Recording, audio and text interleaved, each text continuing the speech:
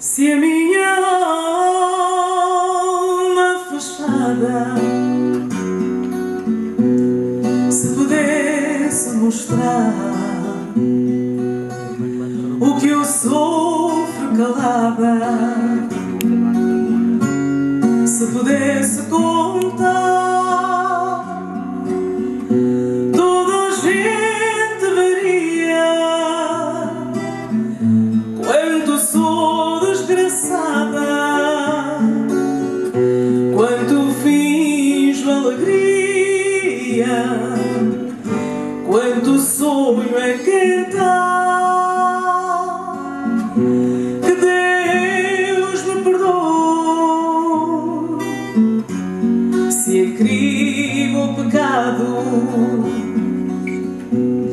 Mas eu sou assim, fugindo ao fado, fugia de mim, cantando dobrado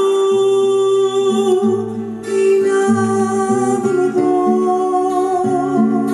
dói. Se é pois um pecado ter amor ao fado, perdoe quando canto. Não penso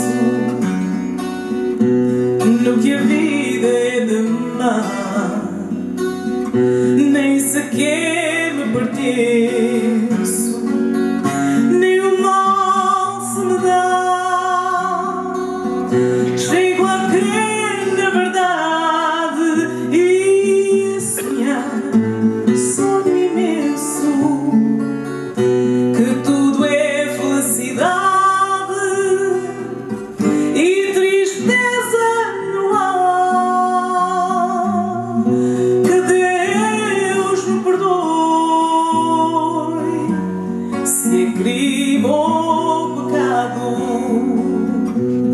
Mas eu sou assim, fugindo ao falo,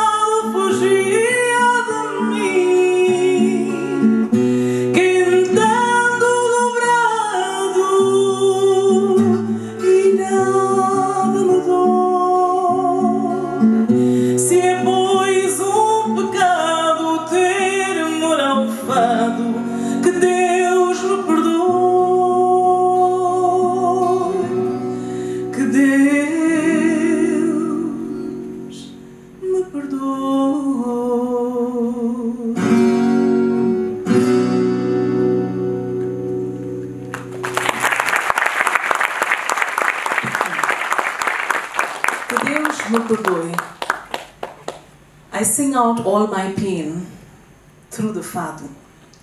And if singing the fado is a sin, may God forgive me. Fado, ladies and gentlemen, is an art form from the country of Portugal. And in 2011, it's been listed by UNESCO as Intangible Heritage of Humanity. This is a very soulful song with melancholic lyrics, uh, guitar accompaniment, deep meaning uh, words, and full of something that only the Portuguese can express saudade. The beginning of Fado, the origin of Fado, has various theories, some more convincing than the others. But it's said that Fado began in Portugal in the early 1800s. By the second half of the 19th century, the Fado had risen from the dark streets, shady parts of society to the parlors of the nobility. And there it got a very, very refined makeover. In the first half of the 20th century, Fado was traveling international. And by the end of the 1900s, Fado literally became the identity of the country of Portugal. We've had Fado in Goa for a very long time. In the past, it was sung in very informal gatherings, um, at a very amateur level. Today, it's more promising, the situation in Goa. I got into the Fado in the year 2003, and from then, it has been a beautiful journey. The next fado I would like to sing for you is called Barco Negro, which means a black ship. I stand on the shores, my love, waiting for you to return. The women here tell me, you're never coming back.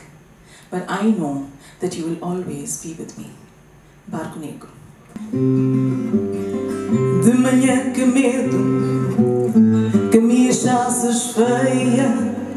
acordei tremendo, deitada na areia.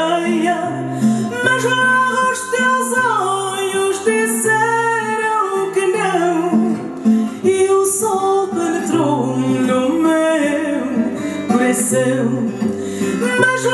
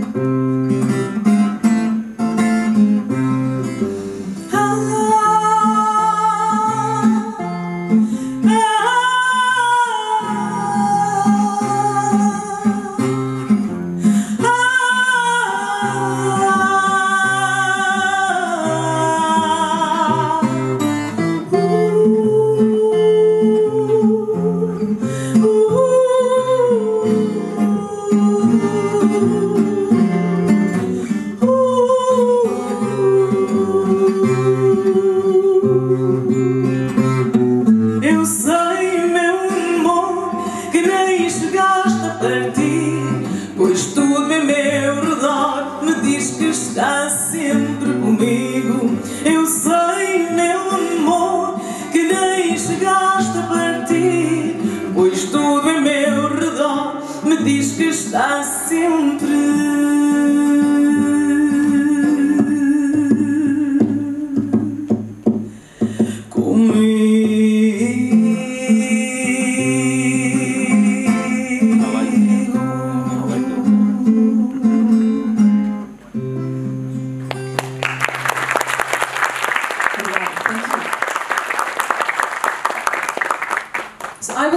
to Fado, as I said, in 2003, and the journey has been beautiful.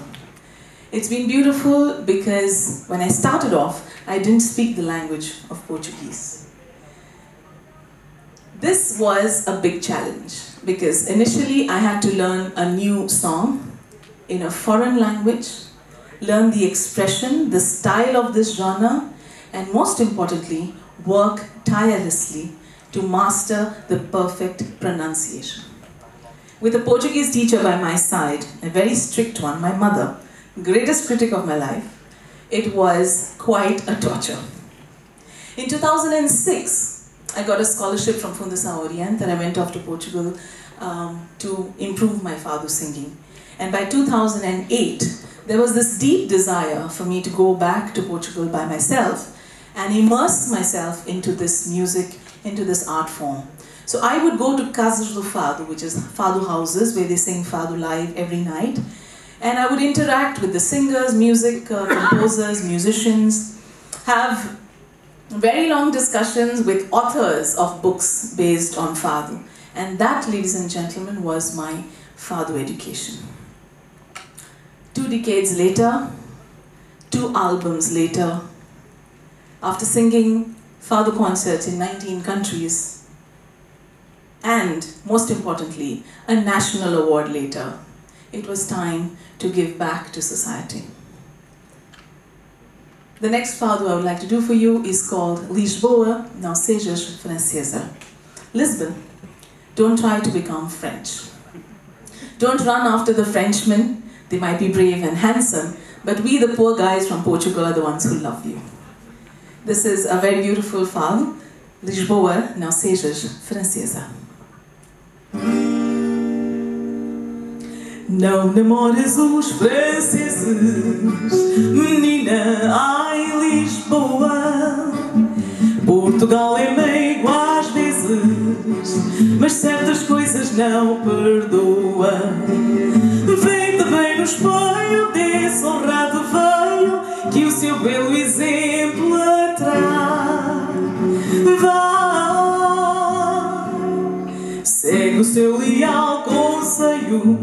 Não des desgostos ao teu pai. Lisboa, não sejas francesa, com toda a certeza não vais ser feliz. Lisboa, que ideia daninha, vaidosa alfacinha, casar com Paris.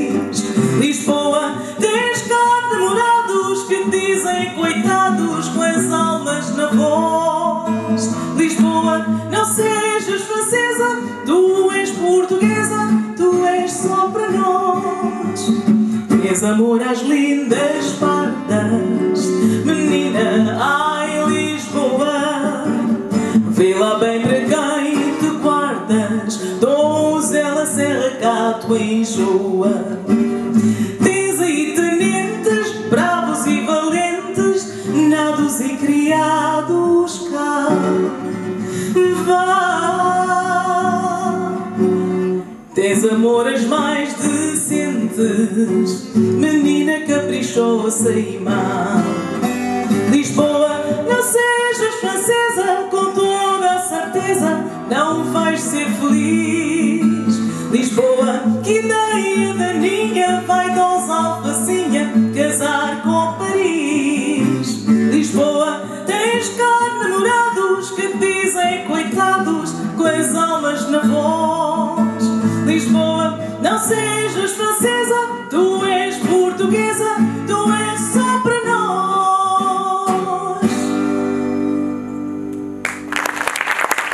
Thank you. Thank you very much.